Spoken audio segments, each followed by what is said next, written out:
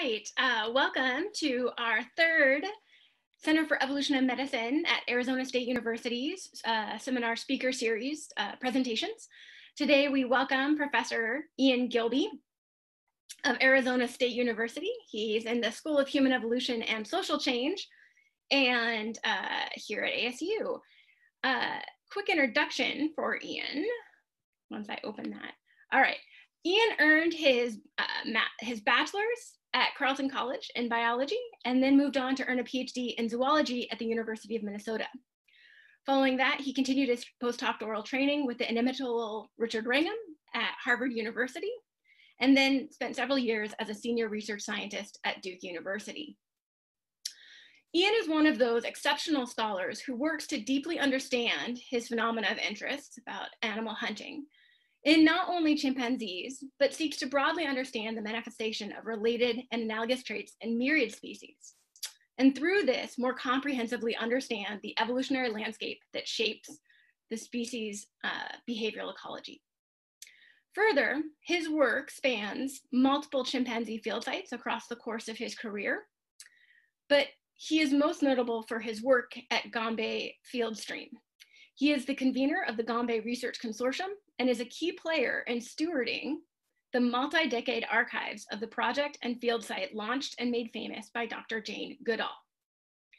Today, Ian will be talking with us about an understanding of the hunting behavior and nutritional ecology of chimpanzees. And I wanna highlight that Ian is very much a 21st century scholar, investing in not only his research, but as an exceptional educator, mentor, community member, and continuous efforts in science communication. I was delighted and honored to co-lead a study abroad to Australia on One Health with Ian back in the before times in 2019. Please join me in welcoming your friend and mine, Professor Ian Gilby. Wow, well, thank you. That was very, very flattering. I have to say I was a little uh, nervous about some uh, embarrassing uh, Australia photos coming up but maybe because I've got the the worst photo of you queued up from Australia, just in case. Maybe that's why you you didn't do that.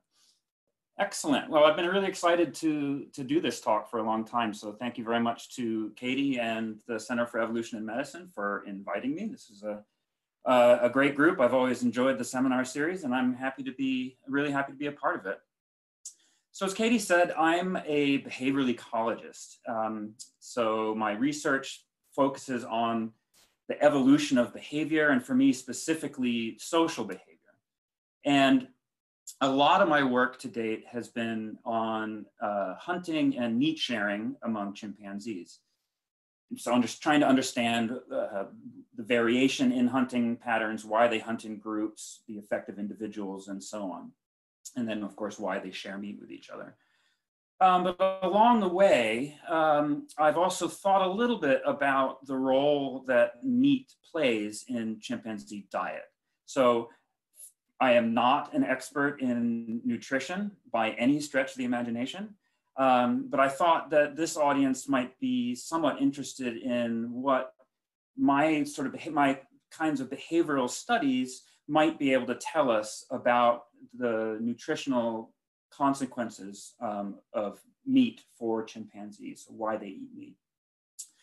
But first, I should give you a little bit of context. Um, why do we care about this question?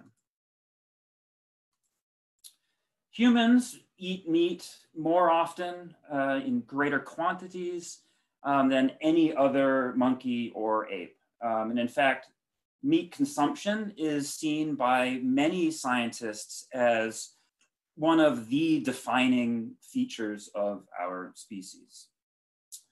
And this increase in meat consumption in our lineage has allowed for uh, the growth of big complex brains and was likely a factor in the evolution of many other peculiarly human traits. Uh, the fact that we walk bipedally, we form pair bonds, um, the we have a sexual division of labor, um, central place foraging, and so on, can, can often be or is often attributed to the fact that the amount of meat that we eat increased significantly in, in our lineage. So all foraging societies across a wide range of habitats eat meat, whether we're talking about uh, savanna habitats in Africa or uh, uh, tropical forests in South America, Australia, and even in the Arctic. And in fact, for, for um, some groups like the Inuit in the Arctic, meat may be all that they eat for months at a time. So all foraging societies eat meat. But what led to this increase in meat consumption remains a mystery. So it's likely due to the cooling and drying of the environment five to seven million years ago, opening a niche uh, into some more savanna habitats for the, our last common ancestor, undoubtedly encountering new and different types of prey.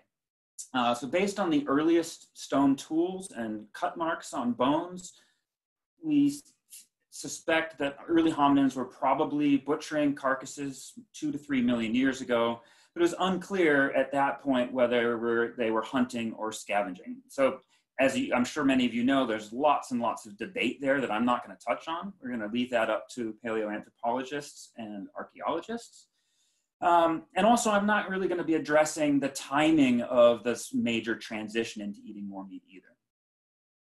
Instead, I'm going, my, my goal um, is to understand what motivated the last common ancestor of apes and humans to eat meat and how they acquired it. So then early hominins in our lineage would have built upon this foundation built by uh, our last common ancestor. So in other words, if you look at this phylogeny of the living great apes as an illustration, we need to make inferences about this creature right here the last common ancestor of apes and humans, the last, uh, which lived about five to seven million years ago in Africa.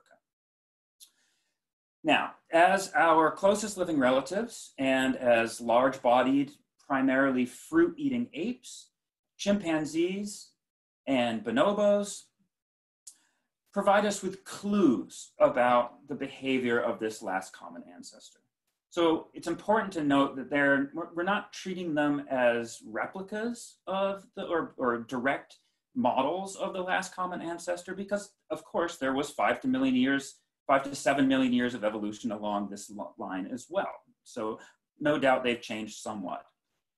But they do uh, help us to understand the kinds of ecological pressures faced by the last common ancestor and can sort of give us an idea of the range of variation of behavior that the last common ancestor may have exhibited. Now, uh, both bonobos and chimpanzees are equally related to humans, but chimpanzees eat meat more often. Bonobos do eat meat, um, but not as often, and we don't know as much about meat eating in bonobos as we do in chimps. So that's why I'm going to concentrate on chimpanzees today.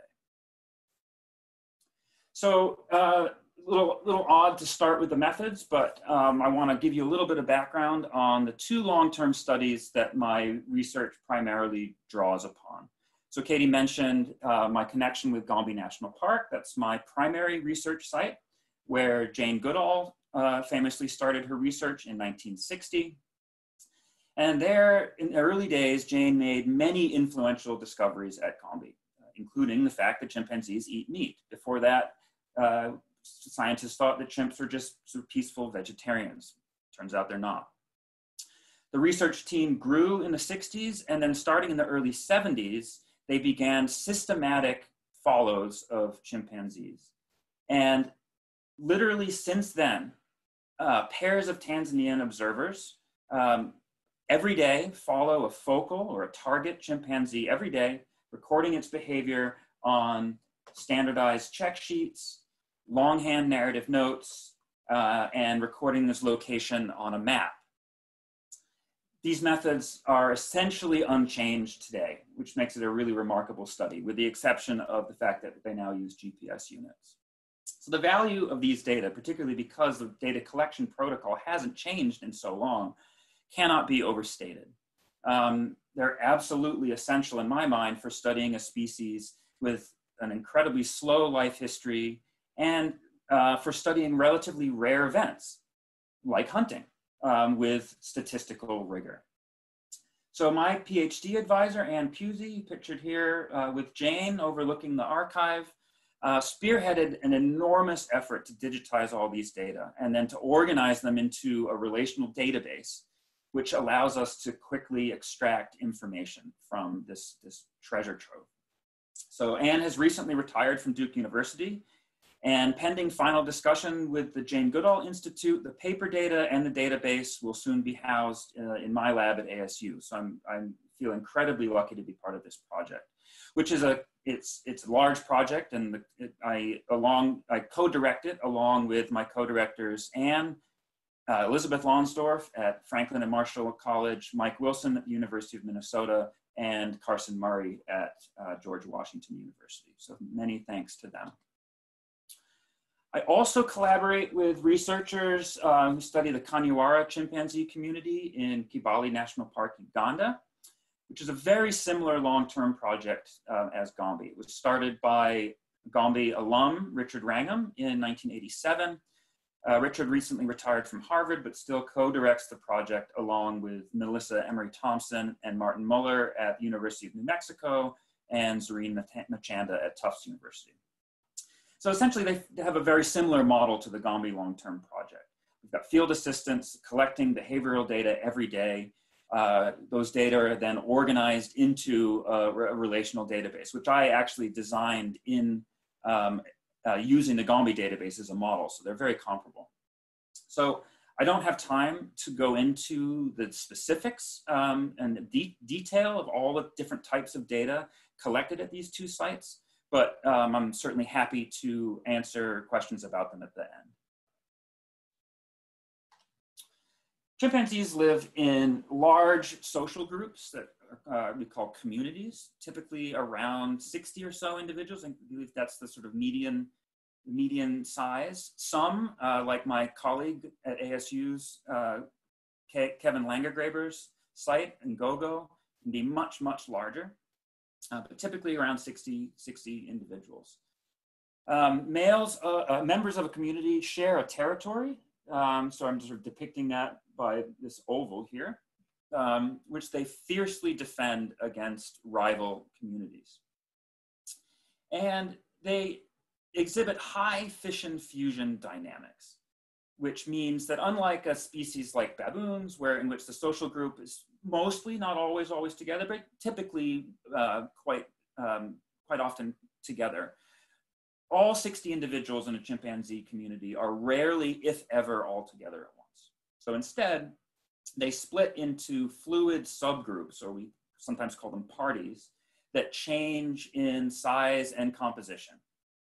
Males are typically more gregarious than females, um, although there is variation among study sites. But at, at, at Gombe and Kanyawara, typically we have males being fairly gregarious, often together in, in groups, and females dotted uh, in ones and twos with their dependent offspring, um, essentially by themselves in the rest of the in the rest of the community range. Party size and grouping patterns are uh, essentially determined by food availability. So when there's lots of ripe fruit available, you find them in larger parties. And this has important consequences for the study of hunting behavior, as we'll see. Their diet is dominated by ripe fruit, and uh, they're very picky about it. So you'll see them picking fruits and sniffing them to make sure that they're, they're properly ripe. And if not, they sometimes discard them. Figs, like uh, what Frodo here is eating, are particularly important food source uh, for them. Um, and as I said, the abundance and distribution of food in their range um, greatly affects grouping and travel patterns, which has cascading effects for other behaviors, including hunting. In addition to fruit, they also eat young leaves and flowers. So Wilkie here is eating these little yellow flowers in this tree. And also uh, stems and uh, shoots and things like that, as well as uh, invertebrates, like insects, typically termites and ants.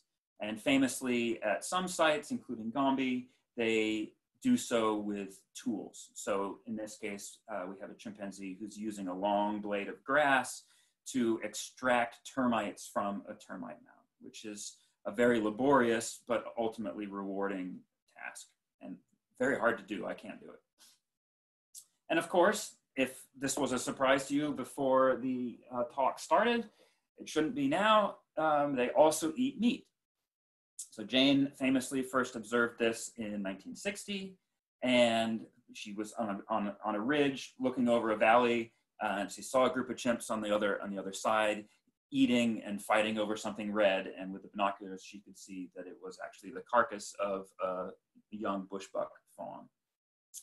So she first observed this in 1960, put Gombe on the map, um, and it's now been observed at all other long-term uh, sites with varying levels of frequency. So they do, meat is uh, eaten at all these sites, but it is eaten relatively rarely. So here's a quick and dirty breakdown of the Gombe chimpanzee diet um, from, from the, the, whole study. And as you, as you can see, uh, it's dominated by fruit, ripe fruit, and leaves. So over 82% of their time spent feeding is on ripe fruit and leaves. Uh, and you can see here that meat is about is 4.3% of their time spent feeding, insects 3.2, and then other things um, like honey and stems and things like that uh, make up the other 5.9%. So 4.3% of your feeding time on average is not that much. Kanyawara, as you can see, is even less than that at about 1.1% of feeding time. And then at Mahale, which is a site uh, south of Gombe in Tanzania, um, uh, Hosaka et al. estimated that they ate 14, uh, 45 grams per day on average, which is, again, not very much. I'll concede that feeding time is not an ideal measure, um, but as you can see, as you will see later in the talk, um, little is known about the nutritional contribution of meat to chimp diet, and we just simply don't have estimates yet in terms of, sort of actual nutritional contribution. So what do they eat? What, what do they prey upon, I should say? So they do eat some uh, arboreal primates, relatively rarely, uh, these guys. So uh, red-tailed monkeys, black and white colobus monkeys, blue monkeys. Um, and they also prey upon young bush pigs, a cute little baby bush pig here, um, bushbuck fawns, bushbuck are like um, deer essentially, um, and, and, and, duikers are small forest antelopes, and then small animals like galagos um, and uh, bird nestlings and things like that that live in uh, cavities in trees. So hunts of the bottom uh, row here don't usually involve any kind of pursuit. Instead, that's more often a, a quick opportunistic grab um, as they find them. But by far, the most important prey species uh, in uh, all chimpanzee sites where they are found together um, is the red colobus monkey pictured here. So these guys are, again, arboreal monkeys. They uh, live in large groups, 50 or so individuals, and are arboreal. They live in trees. And adults weigh maybe 8 to 10 kilograms, uh, so there's a you know, sizable amount of meat there. Although at some sites like Gombe, chimpanzees tend to target uh, juveniles and infants, so smaller, smaller packages of meat. And these guys fiercely defend themselves when they're being, when they're being hunted. Um, so they're really quite formidable. They've got large canines. The males uh, will drop down and attack the chimpanzees who are chasing after them, while the youngsters and moms try to try to flee. Trigger alert here, I'm just gonna show a quick video of what hunting looks like, uh, hunting red colobus looks like. Um, at, the, at the end, there's some scenes of meat eating um, where you can see that it's a monkey. There's no horrible blood or anything. The monkeys are, have, have passed. So um, if, you, if this makes you uncomfortable, just look away for a moment. But this is, it's impossible to really describe what a, a colobus hunt looks like. So I thought I would share it with you. So that's what red colobus monkeys look like. They're looking nervous. They're up in the trees. A group, a small group of male chimps has uh, found them and are down below looking up to see if they can find vulnerable individuals. And then at some point they charge into the trees after the monkeys. You can see Frodo here fighting off, chasing and fighting off males who are attacking him, male colobus.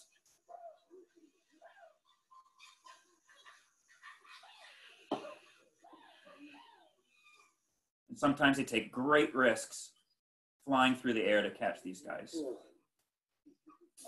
So when they catch a monkey, there's often chaos to begin with, or the monkey's sometimes divided, which is happening here.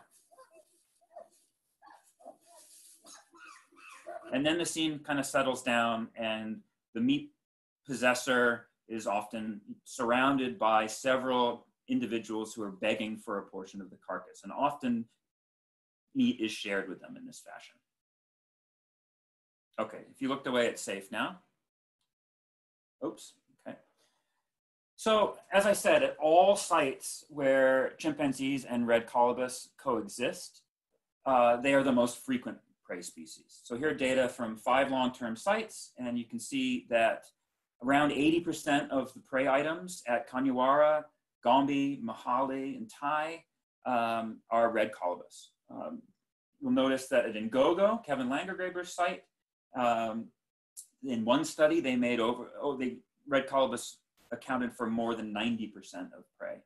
Um, this has changed in recent years there as the, um, at this rate, as you might, might uh, see from this, or might derive from this, uh, the red, red colobus population has crashed there due to overhunting by chimps. So there's one aspect of hunting colobus that will be important for several of the hypotheses um, about why chimpanzees hunt. And there are also very, very few univer universal patterns in chimpanzees, or when it comes to chimpanzee behavior, uh, but this is one of them. So at all sites, upon encountering a red colobus troop, a hunt is more likely to occur if there are many male chimpanzees present in the party. So in other words, the likelihood of a hunt occurring is proportional to the number of male chimpanzees who are present in the party that encounters them. So there's a nice clear effect here from using data from Kanyawara, but is also true everywhere. So as I said earlier, party size is associated with food availability. So when there's lots of ripe fruit, you find the chimpanzees grouping in bigger parties. Not much fruit, small parties. So in many of the analyses that I'm going to be showing you, I had to statistically control for party size when assessing what factors affect hunting probability. You'll see what I mean by that. Okay, to the research now. Why do chimpanzees? What are the main benefits of eating meat? Well, as I tried to illustrate with the video and my description, hunting red colobus is really costly uh, in terms of energy, energy expenditure. So at Gombe, the average hunt lasts 30 minutes. Um, and it's also risky, both in the ecological sense, because 50% of hunts fail. Um, so there's a 50% chance that the effort's going to be wasted. Um, and it's also risky in terms of injury. You saw that clip of that chimpanzee flying through the air to catch a monkey. Males, uh, hunters fall, they break bones, um, and it's, so it's really quite risky. So with those risks in mind, particularly the energetic costs, maybe chimpanzees forego hunting when ripe fruit is plentiful. Okay, so there's no need to take these risks for calories because there's lots of calories available in the fruit that they're available in their habitat and that they only maybe they only take on hunting costs when alternative sources of calories are scarce. So meat is a nice digestible concentrated source of calories. So perhaps, so here we have poor Gimble here. I love this photograph that uh, my friend Kristen Mosher took many years ago, won a wildlife award. He's eating pith, which is the spongy tissue inside vines, okay?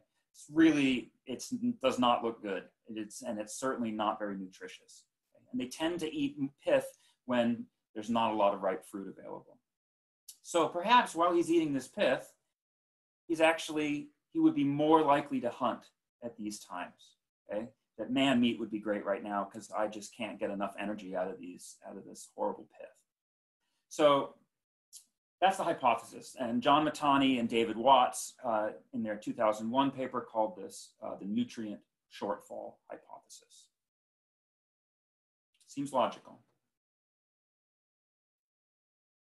So we tested this um, using long-term data from Kanyawara, um, and we actually showed uh, that the opposite was happening, that hunting is actually more frequent when diet quality is high. So diet quality here was measured in terms of the abundance of high quality preferred fruit. Um, and specifically fruits that have, have been shown since then to have high energy content. And what you'll see from this graph, I hope, is that critically, this increase in hunting during plentiful times is not simply due to the fact that large groups are more, large, large parties are more likely to form during high quality fruit seasons. So what we did was we controlled for male chimpanzee party size, and then for each size party, asked what the, the number of hunts per 100 hours was, the rate of hunting. So if you, so for example, if you take parties of six males, you find that during high quality fruit seasons, they averaged over two, over two hunts per every 100 hours compared to only one hunt per 100 hours uh, during poor times. So I should also note that at uh, Gombe and then also at Ngogo, we do also see an increase in hunting during uh, high fruit periods, but in, at those sites, it does appear to be due to larger party sizes only. So we also looked at it um, another way, that was hunting rates, but that also, that doesn't account for uh, uh, increase in, or, or, at the rate at which they encountered prey. So we also looked at it at the level of the colobus encounter uh, and found exactly the same pattern. So during, again, during periods when preferred fruit, fruit, fruits, excuse me, were particularly abundant, and especially two species here, Pseudospondias uh, microcarpa and Mimusops bagshawei. Um, when in those seasons, when those fruits were plentiful, we found that um, a probability of hunting upon encountering colobus was significantly higher than during other fruit times. So this suggests that hunting is almost a luxury activity that they undertake when they can afford to fail. Um, and then and when other energy rich foods are available as a fallback. So this does not support that nutrient shortfall hypothesis.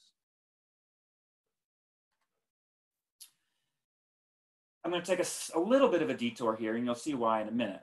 Um, calories are central to one of the major debates about chimpanzee hunting.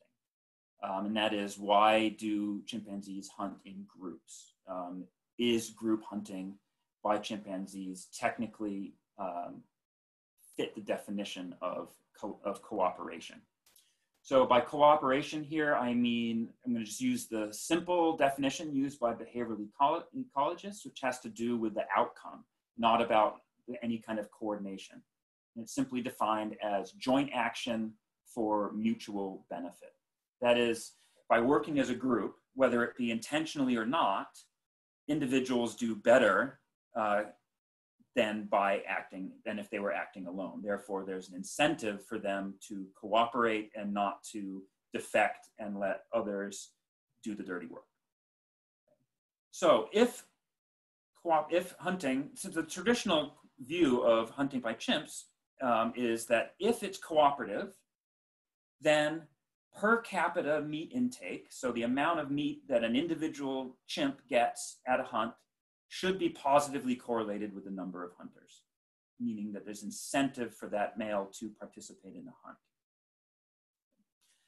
However, uh, in another old study of mine, um, we found that at Gombe, um, while the number of hunters did mean there was an increase in the number of prey captured per hunt, okay, this line here. So more likely to make multiple kills if there are more, you know, a large number of chimpanzees in the, in the hunting party. That's true. But that did not translate to a caloric benefit for individuals. So if you look at, if you basically take the number, what I did here, very simple, is all I could do as well, was take the number of prey captured per hunt and divide it by the number of males that were there. And you find that the kilograms of meat per male actually significantly decreased with adult male party size. Um, this is consistent with what we see at, at Ngogo and at Kanyawara, except we don't see a negative effect. We just see no effect. Okay? Now, full disclosure, of course, the, the, the, the best measure here would be how much meat each individual in the hunt gets, right? But it's really, really difficult to measure, I would say impossible to measure intake by every individual in a hunting party to any degree of, of, um, of detail. Um, so I recognize that this isn't ideal, but it's the best we can do at this point. Nevertheless, what these data suggest is that hunting in groups does not result in a caloric benefit for males. Um, in fact, it may come at a cost. Okay, so why did I take that detour into cooperation? Well, it's a fascinating question, um, of course, and I could go on and on about cooperation for hours. I won't. Um, but it does have something to do with diet. So the fact that hunting may come at a caloric loss to an individual made me think about what the other benefits of eating meat might be that aren't calories. So for group hunting to have been selected for, there has to be a benefit to the individual. Okay? So if it's not calories, then what might that benefit be? So in addition to being rich, rich in energy, meat is also a valuable concentrated source of micronutrients that are essential for humans and we assume are essential for chimpanzees as well, although we don't really know what chimpanzee nutritional requirements are. So some of these micronutrients uh, include, but are not limited to calcium, sodium, potassium, iron, zinc, and then several vitamins. And in particular, B12 is one that's been um, uh, labeled as being very, very important for brain development. So these micronutrients, I need to point out, are not necessarily absent in plant diet. Many people say, well, since you know, chimpanzee eat, meat eating is relatively rare and some sites don't do it very much at all, then it's not essential. Um, so they can probably get many of these things, these micronutrients from, from plant food and from other, uh, from insects, for example, but it's just so much, there's so much more readily available in meat. And critically, um, they are valuable in small amounts. So my colleagues and I, uh, Claudio Tennie and Richard Wrangham, and I proposed this meat scrap hypothesis, which proposes that because of micronutrients, meat in any amount, even a tiny scrap, is beneficial to, to one who can get it, even though it might come as a, at a caloric cost. So if this is true, then hunting in groups should be selected for um, if it increases a male's chance of obtaining meat in any amount. So it's not about the amount of meat anymore, it's just getting meat at all. So we tested this um, at uh, Kanyawara and at Gombe as well. Here's the data from, from Kanyawara. Um, and indeed, we found that the probability that a given male obtained meat uh, increased significantly with the number of hunters in a, in, in a hunting party. Very clear relationship there. Okay. I should point out that with all, many of these charts, I'm glossing over the statistics, um, puts a, a few uh, nuggets in the bottom corner. These, these regressions or the, these graphs, when there's a line there, those are the predicted values from a regression. So the, those are the regression lines with 95% confidence intervals. When, the, when I show raw data, I'll say it's the raw data. Um, so importantly though, um, it's not just captors who get meat. Okay? Individuals can also get meat um, by begging for it um, and receiving it via sharing or by gathering fallen scraps. So this graph doesn't take that into account. All this shows is that as the number of hunters in a hunting party increases, the probability that a given male gets meat increases. So we wanted to look at to, to parse this out by hunters versus bystanders. And we found a very interesting pattern. So we redid that analysis, differentiating between hunters and non-hunters, and found that when there's only two, three, or four hunters, okay, this end of the, the, the graph, that there's an advantage to being one of those hunters. Okay, that a hunter is significantly more likely to get meat than a bystander in those small groups. But there's a st statistically significant um, interaction between, um, just to simplify it, for non-hunters, the probability of receiving meat increases with party size, or with the number of hunters. So at groups, in groups where there are five individuals hunting, a bystander is became just as likely to get meat as a hunter was. So if the meat scrap hypothesis is correct, and that all that matters to an individual is getting a small amount of meat, then if five males are already hunting, then there should be no added, added incentive for a bystander to start hunting. Okay? In other words, when non-hunters can reliably obtain meat, males should stop, should refrain from joining a hunt and, and wait to get meat from by being a beggar or a, a scrap hoarder. Okay?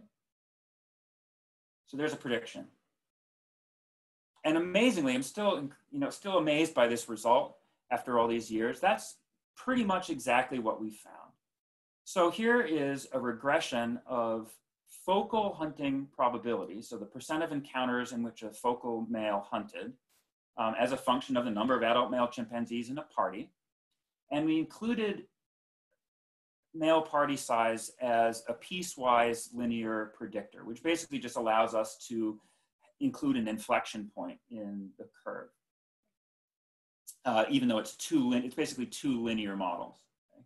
And we found that there was a, a significant positive effect of male party size on hunting by the focal male, but only in groups of up to six. And then, then in larger parties, increasing the number of males present did not increase focal hunting probability. Okay, so this supports the uh, meat scrap hypothesis, the idea that these micronutrients in small amounts provide enough benefit to justify hunting, um, paying the cost to hunt okay? Um, a small amount of meat is enough. So there's a lot of data missing here. The specific micronutrient content of wild game is not well known. Uh, in particular, including um, the content of different tissues and organs. So there's going to be more on that in a minute. Um, and then also, uh, we again, we don't really know what the nutritional requirements of chimpanzees are. With that in mind, though, these data are, uh, are, are very informative in my view. Now, of course, I'm not claiming that micronutrients are the only thing. Um, there isn't going to be one single benefit to eating meat. Um, perhaps meat is also important because of its protein content. Um, we know that protein is critical for building and maintaining tissues. Um, forms enzymes, hormones, and so on. Um, so is there any evidence that chimps are protein limited in any way?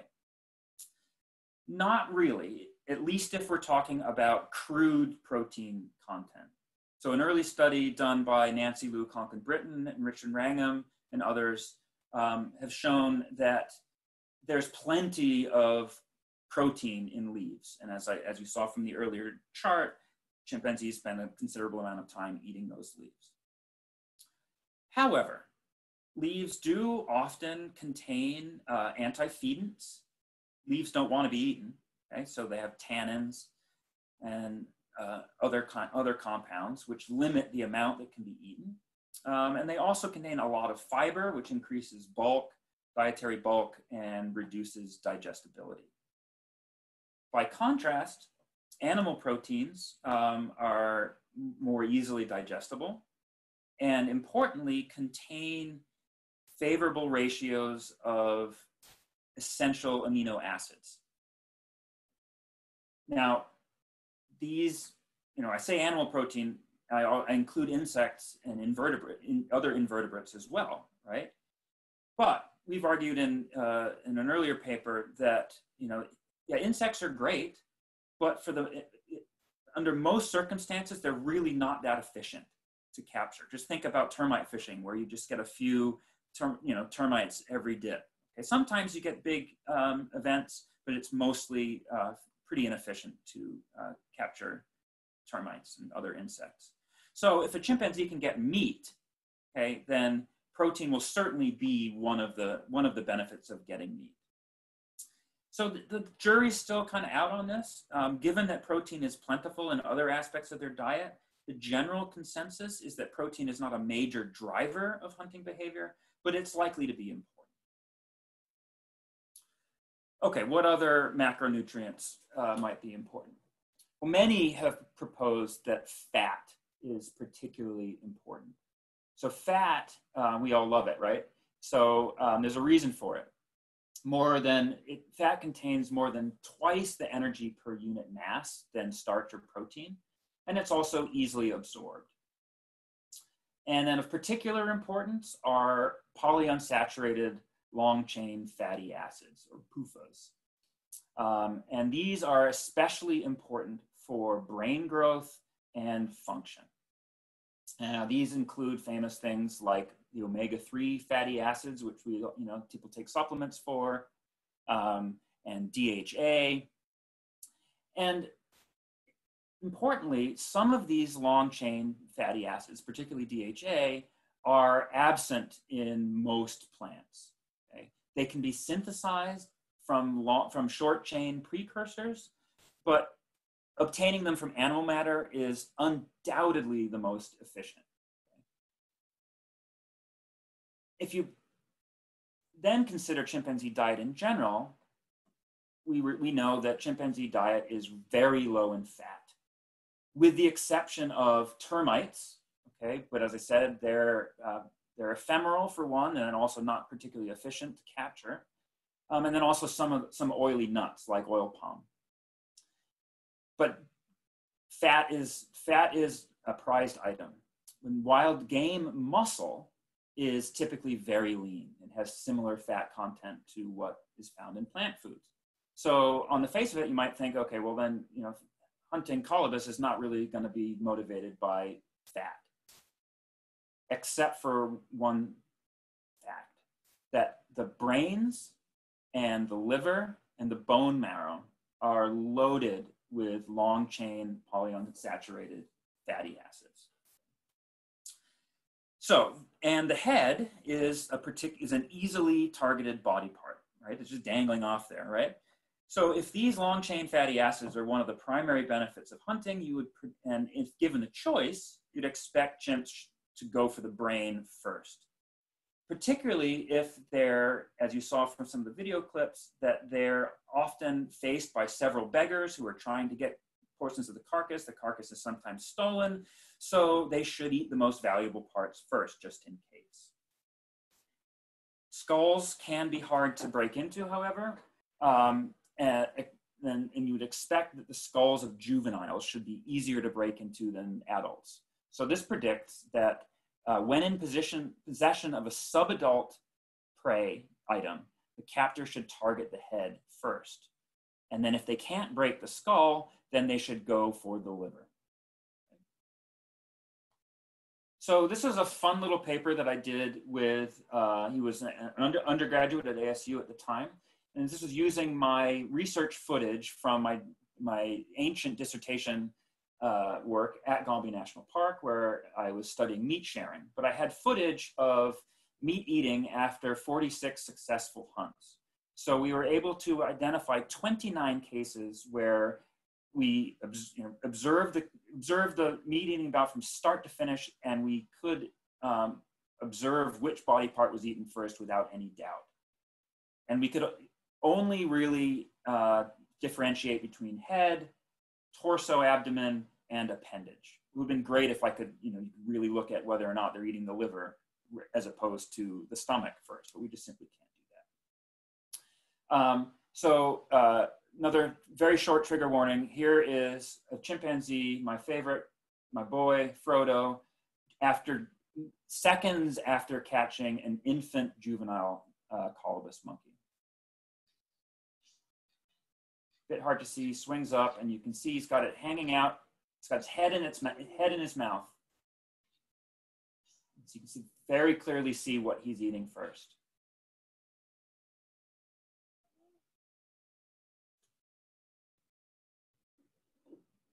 And what invariably happens is you can see that the brain get the skull gets crushed, it, it looks really limp, and they're essentially sucking the brain out.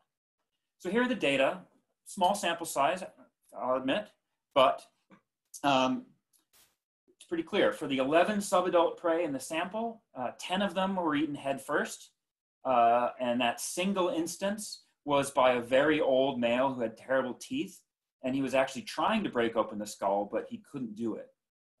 Then for the 18 adult prey, little, little less than half were eaten head first, and um, most of the rest were eaten torso first. So this is statistically significant. Um, the, the, the, head was statistically more likely to be chosen first, but there was a, there was a, a interaction term, a significant interaction between prey age and body part. So essentially what it means is they ate the brains first when it was easy to do so. They often did for adult prey, but frequently went for the torso first, which, which contains that fat-rich liver.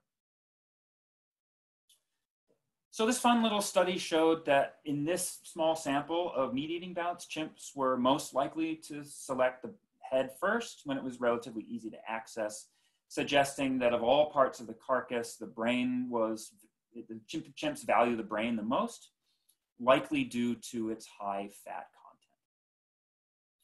So this is important to highlight the um, fact that we should really note which parts of carcass chimps are getting or sharing, but I will admit that it's pretty hard. Possible future directions here, uh, it would be great to do choice experiments in captivity with different tissues and organs. And then also um, this, again, surprisingly little known about the nutritional content of organs and tissues of wild game. So couple more data slides here. Um, you may have noticed so far that I've talked mainly about males, um, and there's a reason for this. Males hunt more often than females do. Here are some stats from various sites ranging from 70% uh, at Joe Pruetz's site in Fongoli to one study at Ngogo is 97% of kills were made by males. But this photo here that I'm very proud of and fond of um, is, a, is actually a female chimp catching a juvenile colobus monkey. They can and do hunt. So why do female chimps hunt less often than males do? So again, I see this as another opportunity to, to use behavior to identify what the nutritional benefits of eating meat might be. So first explanation for that is that chimpanzees encounter red colobus less often than males do. So Gombe chimps don't appear to search for prey. Um, and because they're in smaller groups and often by themselves, females travel less. Uh, their day ranges are shorter than males. So it follows that they just may simply be less likely to encounter prey, and these data show that. Um, So controlling for the follow duration, um, you can see that females um, in this, these lower squares encounter red colobus at lower rates than males do for a given follow duration. So they simply don't have as many opportunities as males. But that is not the whole story because when a hunt occurs and a female is there, females are significantly less likely to participate in a hunt than, than focal males. So uh, if you're male, male, about 75% chance of participating in a, in a hunt that's, that's occurring, females only less than 50%. So together with that first result, that reduced opportunity is partly responsible for the low rates of female hunting, but when given a chance, females still hunt red colobus less often than males do. So there must be another explanation. So a hint is here. Um, when we break down female hunting probability according to the number of male chimpanzees present, we get a little bit of insight here. This is the opposite pattern that we see for males. For males, we see a positive slope. A given male is more likely to hunt if lots of other males are hunting. Females, it's opposite.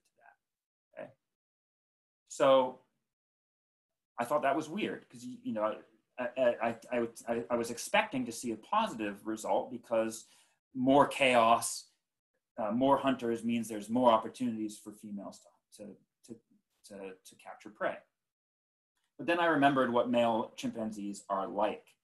And what typically happens when a female uh, catches a monkey is that some big male displays at her, hits her, steals the carcass, leaving her begging for the meat that she worked so hard to get.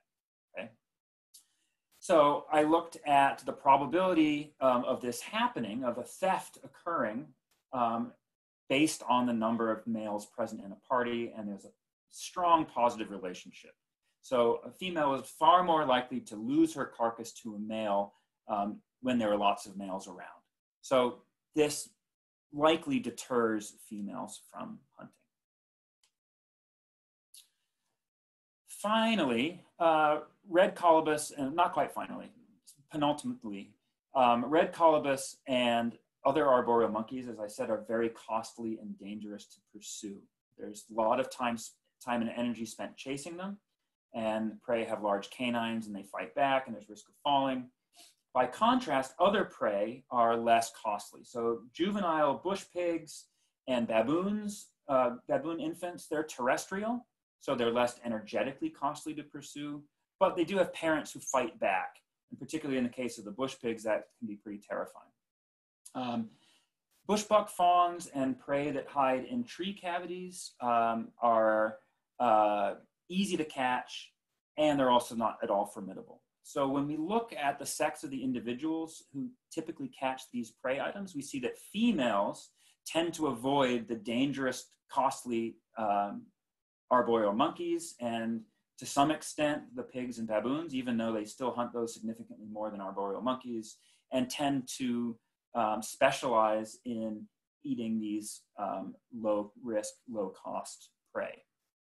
So, despite the value of meat, females don't get as much meat as males do, which likely explains why females spend more time eating insects, which is actually a project that I'm working on now that needs to have more attention needs to be paid to.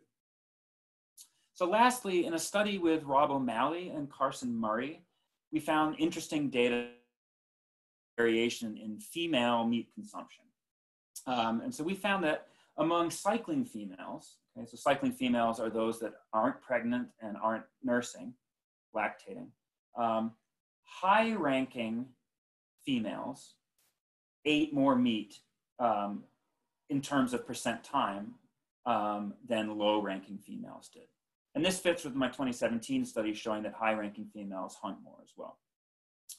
But while pregnant, low ranking females increase their meat consumption to one that's statistically indistinguishable from uh, high ranking females, suggesting that there, there's some aspect of meat is critical for fetal development. So basically, during pregnancy, they make up for the fact that they don't get much, they normally don't get much meat. Meat consumption during lactation probably doesn't increase because it's hard to hunt with an infant hanging off. So this is something that would be super interesting to follow up on this. And I just wish I knew somebody who is an expert in development and lactation. Anybody know of one? Well, maybe that person doesn't exist, but if they do, they should uh, contact me. So in the title, I promised something about social benefits of, of hunting. And this is a huge area of debate. Some have argued, many have argued, that since hunting is so rare, meat eating is not essential. So that so the main motivation for hunting can't be nutritional. So instead, an alternative has been that chimpanzees hunt mainly for the social benefits that they may gain by sharing meat with others after a hunt. So here we have a male chimpanzee with a female chimp begging for meat. So perhaps chimps hunt mainly to acquire meat in order to then trade with others for various commodities, including sex, grooming, coalitionary support. So there really are two questions here. The first is, does such trade occur? And then, and there's a lot of debate about that. So for example, at some sites, male pairs that frequently groom are more likely to share meat. I found on, on the other hand, and have argued for a more simple explanation for sharing that they share to reduce harassment by persistent beggars. As always, it's probably some combination of the two, okay? So we're not gonna debate that here. That's an entirely, that's a whole lecture, another whole lecture. But the second question is whether or not the potential for trade affects hunting decisions. So I personally think that this is highly unlikely, um, given the apparent nutritional value of meat, and in the fact, and the fact that in captive studies, chimps find it very difficult to overcome immediate gratification when it comes to food. Okay, so and we have to finally remember that the whole reason why meat is a potential trading uh, commodity is that it's valuable nutritionally. So I strongly believe that they're hunting to get meat first, uh, first and foremost for its nutritional value, and then they may or may not use it um, in social transactions. So what have we learned? We've learned that meat has, or I've argued that meat has high nutritional value for chimpanzees, even in small amounts, for various reasons listed there. Um, and it seems likely that the last common ancestor of apes and humans hunted uh, for similar benefits and probably in similar ways. So how does this help us? Uh, well, it gives us a it gives us a jumping off point for then surmising, inferring what happened in our lineage. Seems likely that the increase in meat eating uh, was driven by increased encounter rate with prey based on uh, ex exploitation of a new of a savanna type niche hominins would have traveled further, uh, likely encountering more prey species, and then they would sort of have a, would have a ratcheting effect. Um, more food, uh, more meat, larger brains, more, more meat, larger brains, etc. So the next steps, um, I'm currently working on another collaborative paper looking at trade-offs between meat and insect eating, again, giving us an idea of the specific nutrients that chimpanzees are seeking. Um, and I'm also seeking collaborations with folks who can assess the dietary requirements of wild primates and then also to conduct nutritional analyses of chimp uh, prey species, including specific tissues. So very quickly, I hope I've made this clear that this is an incredible, hugely collaborative endeavor from both sites so at Gombe, this is a very, very short subset of the long, long list of people, but especially, especially grateful to Jane and to Anne Pusey for giving me the opportunity to work um, at this incredible site with these incredible data. And of course, the uh, researchers on the ground at Gombe who know far more about chimps than we ever do. Very similar list from Kanyawara with all of the uh, data collectors and um, um, uh, field managers over the years. So with that, I think I went on a little bit too long. I hope you're all still there, um, awake, and I would love to take some questions.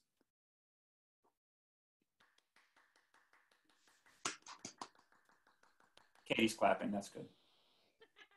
Wonderful. So I'm Um, I'm gonna invite Howard uh, Lannis to start. He had a great question, um, and then we can work backwards through some of them, and people can uh, jump in uh, as they see fit. I was just, I was just a kind of couple of questions. Do you think hunting could also be linked to like male-male competition? Just a thought. And the second was, have you ever heard of the hunter hypothesis when it comes to human evolution? Like our dependency on hunting drove much more of our evolution, like our tool use and our bigger brains. Oh, for sure, for sure. I mean, that's that's what I was alluding to at the beginning. That that that um, our reliance on meat is has been linked to so many things. Um, your question, I'm I'm I'm smiling here because um, on my screen, the the person sitting next to you is Kristen Hawkes. Hi, Kristen. Um, who is um, one of the strongest proponents of the show-off hypothesis, which is essentially what you're what you're saying um, that males hunting um, serves as a way to impress um, other males or impress females with their you know with their general with their general prowess and you know as as uh, Kristen will will say there's loads of debate about this in the human literature, um, and I would argue that the um, the jury is still out. With chimps, it's really hard to say. Again, I'm absolutely moving away from trying to say that there's sort of one explanation for, you know, one own, lone explanation for why chimps do what they do. You know, there's there's probably you know every everything is important. Um, for me though, the uh, the given how important, given the, the potential importance um, nutritionally of that that meat poses, and given the uh, and chimps are smart, but they're not known. They're not great at planning ahead. Um, and as I alluded to with captive studies, they they're you know they sometimes can't even function you know basic tasks if there's food there like they're good they're sometimes really good at doing you know trading trading for things. If those tokens um, even if those tokens um, translate to food in the future they they can do it but if it's the actual food they just can't help themselves. And so i think that you know thinking ahead to whether or not they're sharing with others in the future and whether or not their behavior is going to, you know, be impressive or not, I'm, I'm, I'm, I'm skeptical. Let's put it that way. Ian, I'm going to ask a question um, on behalf of one of the students that they messaged to me, and um, it's it's this uh, I think is quite interesting. And they were asking about whether or not fruit, like when we think of fruit as ripe because of our digestive abilities, um, is that comparable to chimpanzees, or um, do they have the peak digestibility at a different ripening stage? Um, and of course, this might be variable across fruit and stuff like that. But do, do we think that the ripeness of fruit is pretty conserved across primates, or what do we know about that? Can you speak to that? Remember, remember at the beginning when I said I wasn't an, an expert in nutrition? Um, All right. I, I don't. I, I can't give you the answer to that. I um, have you ever tried to eat any of the chimpanzee? It's terrible. So, so, that was where I was going. That's where I was going with this. Is that there? The, a lot of the fruit that chimps eat smells really good, and we're you know we're out there in the forest all day without any food, and we start you know feeling kind of jealous. And the times though when I have eaten chimp fruit, most of the time it's incredibly um, it's bitter. It's it sort of sucks all the moisture out of your mouth. Uh, it's horrible and it's really it's full of seeds. Um, so, but we know that the sugar content is high, and that is definitely um, affected by how ripe they are. Uh, interesting work at Kanyawara has shown that fruits at the tops of trees ripen uh, are more ripe than at the bottom. So there's a there's a hierarchy. So the higher ranked individuals tend to feed higher in the trees because that's where the more ripe fruit is.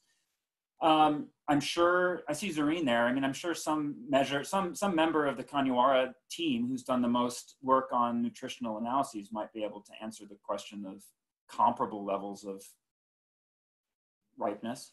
for humans? Zarin, I'm, putting you on the spot, but. Yeah, I mean, I think the data from Kanyawara show that the ripest fruit that we have, or the highest sugar fruit that we have, is the same amount of sugar as carrots, domestic carrots. So even though they do, I agree, they smell good, they taste terrible, and you know they they definitely are not sweet like we think of ripe fruit. Um, but I would say, and Ian's probably seen this too you know when when mangoes are in season in the neighboring village or something like that chimps love oh, yeah. raiding for like ripe fruit um, mangoes that we would think of as like ripe fruit sugar cane so they certainly kind of and the food grunts they get from mangoes or sugar cane are just off the chart. so they really do like those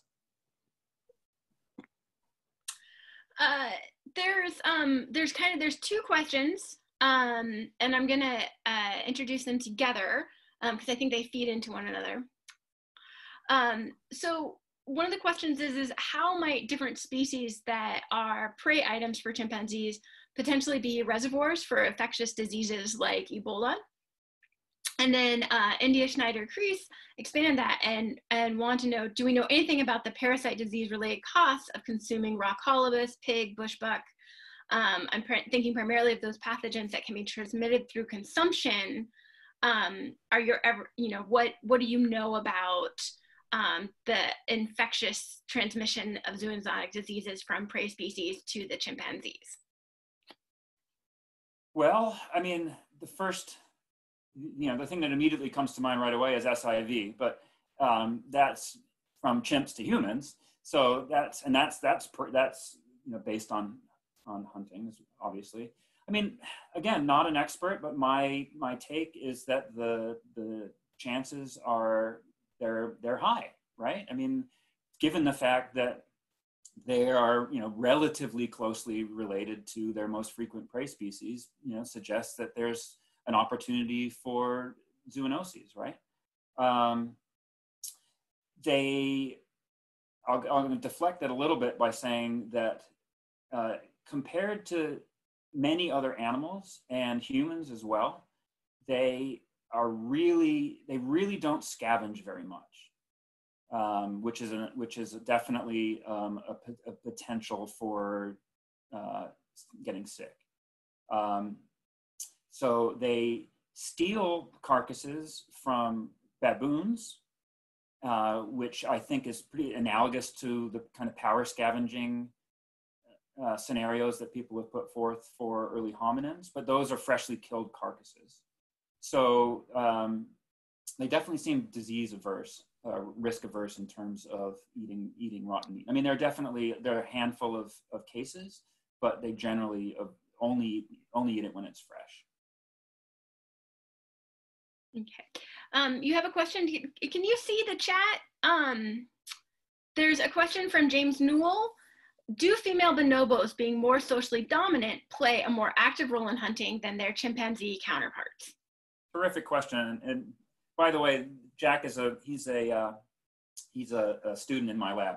Um, so this, I, one, one thing I have to say about how the, this, these, these long-term data sets is uh, they provide great opportunities for students to get research experience. So, uh, so yes, in, in, a, in a word, yes female, again, we, we're still learning about what bonobos do.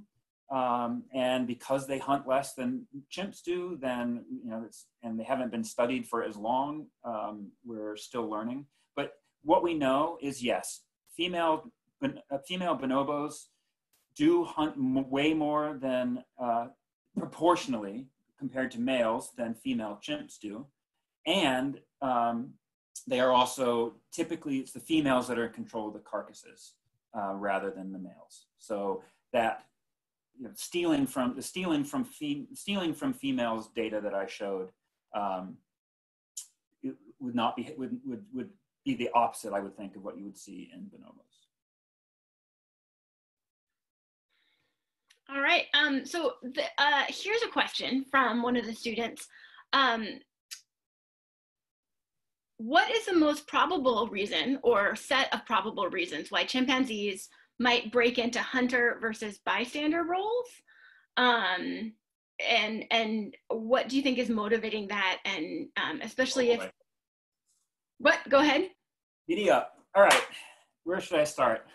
Now, I'm super, super interested in individual variation in uh, hunting propensity. Okay. Um, and this is based on my field work where I could just see that some individuals are just, for whatever reason, uh, and we're still trying to sort this out, um, just far more inclined to hunt than others. Um, this is where, unfortunately, studying this is not the best model system because you know we you need so you need so many individuals to really properly understand why we see such variation. Rank doesn't seem to be um, an issue. So we have some high ranking males who are really gung ho hunters, but also some low ranking males. Um, it certainly could be uh, how often those individuals get meat. Um, my impression is that's not the case because you know it seems that the you know the ones that hunt a lot or the ones that the keenest, the ones that get meat a lot tend to be seem to be the one who are the keenest to hunt. Uh, there's guaranteed to be a genetic aspect, I would think, right? Risk proneness. So you know if these were you know insects, I would you know look for um, you know, there, there are gene complexes associated with novelty seeking and, uh, and risk and, and, and risk taking that Katie's, yes? Oh, so um, so some of the work that's been done in free-ranging rhesus macaques has looked at information about impulsivity in terms of um, like routes that are picked through a canopy for travel um, and willingness to jump further distances are uh, associated with aspects of some serotonergic pathways um, and some genetic, um, some underlying genetic traits. And so I don't know if you have any data about what constitutes kind of risky motor behavior in chimpanzees. I don't know if it's analogous. Um, and but this kind of canopy movement was predictive of aspects of social impulsivity and rank attainment in adulthood in free ranging rhesus macaques. Cool. That's definitely something to look into. Um, I mean, we definitely, so other risk taking things that they do is going on, going on boundary patrols. Um, that's a risky thing. I mean, just things like, you know, if you're, if you're in two, you know, two, two trees that are adjacent to one another, I mean, sometimes you see chimps do these incredible acrobatic jumps from one tree to the next. And maybe there's variation in who decides to climb down and climb back up again. Possibility, yeah. Anyway, I just wanted to quickly say that this, I think that variation in hunting uh, propensity is really, really interesting because we've, I've found that the the presence of certain individuals has a catalytic effect on whether or not hunts occur. So once, you know, if, if this particular gung-ho individual isn't there, then um, for a given group size, then hunts are less likely to occur. And it's, I've argued that it's because these impact males sort of, they, they hunt first, they cause chaos, um, and then make, change the equation for everybody else essentially. Um, another submitted question from one of our asynchronous students is um, what are there any kind of reputational consequences or uh, social friction that are experienced when individuals that have meat do not share it um, or that that you know kind of grudges might be held but rank basically erases that behavioral um, record of it i guess for want of a better way to phrase it but yeah. what what kind of reputational things might be coming out of whether or not people are people? Chimpanzees are generous or stingy? Yeah that's a tough one. Um, my in, my non-scientific impression is yes. Um, i think there are definitely and that you can and this is actually something that i've been meaning to do for a well it's hard to do unfortunately is sometimes individuals they vary in who they beg from and i there are certainly there were certainly some males in, from my field my field times when I would just be like, they would refuse to beg. Like one, one, one chimp had a carcass and, you know, this male just was like, nope, I'm not, I, I, I'm not going to do it. And, you know, whether, whether that's because he knew, he knew he wasn't going to get any or he had some kind of a grudge, who know, who knows? But, you know, from a scientist's perspective, I mean, I find that a very, very difficult idea to test. So I'd be yeah. interested if people had ideas on that. I mean, because you know, how would you differentiate that from uh, you know bearing a grudge to how would you differentiate that from just simple reciprocal altruism, right? Like if you didn't share with me last time, then yeah, it, it's hard. Yeah, yeah, excellent.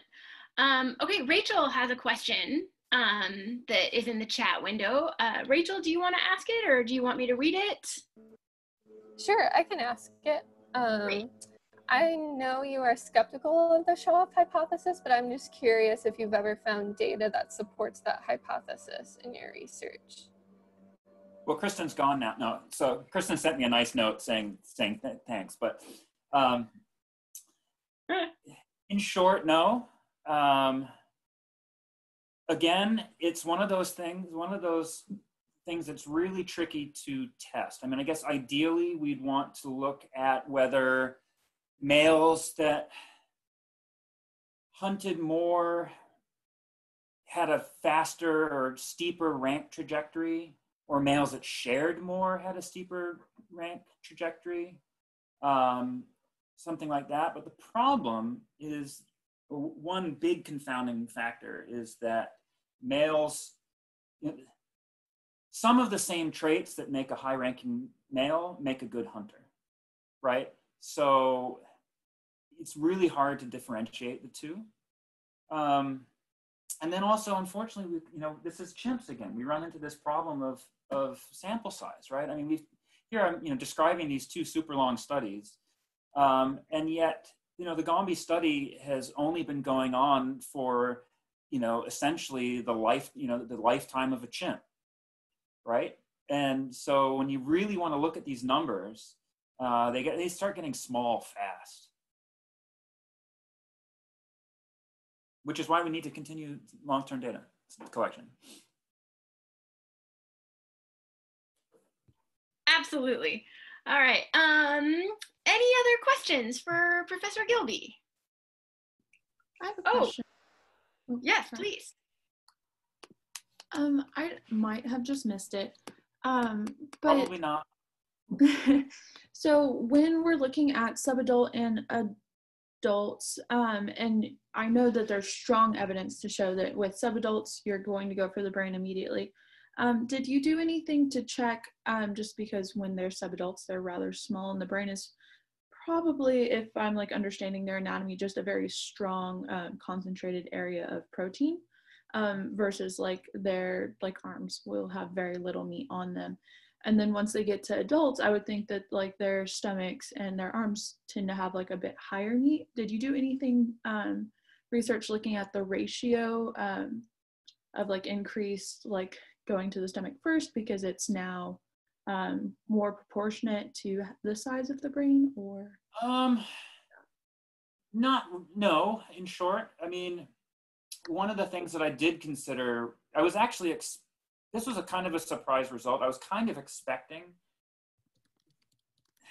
one alternative hypothesis for them going for any um, internal organs is that they just tend to spill out when monkeys dies, right? It's so it's it's gross, but uh, so it, it might. I thought it, you know that that might just be a, a, a side effect of just having a, a soft underbelly, right? Um, I mean, no matter what, the brain, whether it's in a whether it's in a subadult or an adult, is is is going to be valuable. Um, and arguably more valuable than anything else. So um, I think it was telling that in the subadults, they never went for an arm or a leg first. whereas they sometimes did in with the adults. So maybe that suggests that we need to we need to know more about what they what what nutrients are in these different organs in, in short. Thank you. Sure. Um, Lauren Wilson was wondering how COVID-19 had impacted your research. Huh. Yeah. Well, yeah. I mean, absolutely. Um, in many ways, um, it has.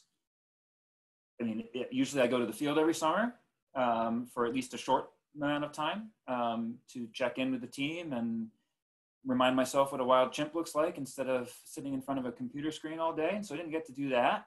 Um, we are very worried about the chimps. So we shut down, uh, early on, we shut down all uh, data collection for a while. Um, chimpanzees do get COVID, and Tanzania is uh, less stringent about um, the rules in terms of social distancing and so on. And so we did we do we did have a team quarantine and the research has continued but it's sort of a skeleton crew uh,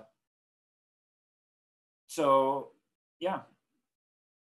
We hope that it ends soon. All right. Any uh, any final questions for ian um, who has generously shared so much of his expertise and time for us today? Um, oh yeah luke has a question.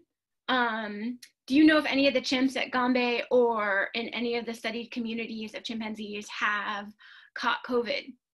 Not at Gombe and not to my knowledge anywhere else. We know that they can get it from captive work, um, but to my knowledge, no. And, cert- and certainly not, well, we have, we, have we have a very good health team at Gombe um, that, that monitors uh, you know, all the chimps on a daily basis uh, whenever they can find them and are definitely paying attention to any sort of signs of respiratory illness. Um, and then would, would, would test for it if, if it, if it shows up. I mean, they do, they do um, often get respiratory illnesses. And this is a, a you know, an opportunity for me to say that, you know, that we all as chimp researchers are faced with a bit of a dilemma here in that um, they do catch our respiratory diseases and they're often more much uh, higher consequences for the chimps and so you know one could argue that we're endangering their lives by studying them. And so we definitely take i mean we were wearing masks with them in the field before this happened um, and keep our distance as best we can and limit numbers of researchers and so on. Um, Richard Wrangham has shown that uh, have just having a research having re a research presence in a national park um, actually increases the, the um, chimpanzee and primate populations. So while you know on an individual level we may risk you know certain in, risk infecting certain individuals, the fact that there's research presence cuts down on deforestation, poaching, and so on. So I would argue that that's our, that's that's the, the, the, the benefits outweigh the costs of doing research on wild primates. Excellent point. Um, also one that was echoed by uh, Machanda in the in the uh, chat window. So, um, all right, if there are um, and no final questions, uh, everyone, please join me in enthusiastically thanking Professor Gilby for sharing his expertise and time with us, and um, hope to see you all next week at our next seminar. All right, thank you so much, Ian. Oh, it was a pleasure. Thank you, guys.